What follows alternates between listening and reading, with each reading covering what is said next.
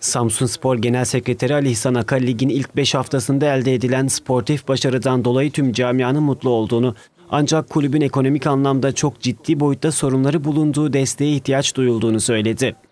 Samsun şehri olarak hedefe hep birlikte yürümeleri gerektiğini vurgulayan Aka, sportif başarıdan dolayı herkes mutlu. Sportif başarı konuşuluyor fakat kulübün sorunlarını kimse tartışmıyor.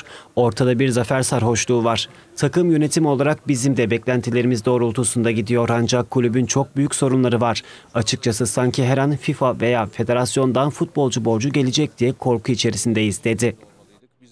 Samsun Spor Kulübü'nde her şeyin güllük gülistanlık olmadığını dile getiren Ali İhsan sportif kısım iyi gidiyor ancak ekonomik olarak desteğe ihtiyaç duyuyoruz. Kulübün çok büyük sorunları var. Lütfen herkes bize destek olsun. Bu kulübün şanlı bir geçmişi var. Bu şanlı geçmişi yaşatmak için çok büyük çaba sarf ediyoruz. Şu anda desteğe ihtiyacımız var. İki ay sonra yaratılacak desteğin belki hiç faydası olmayabilir diye konuştu.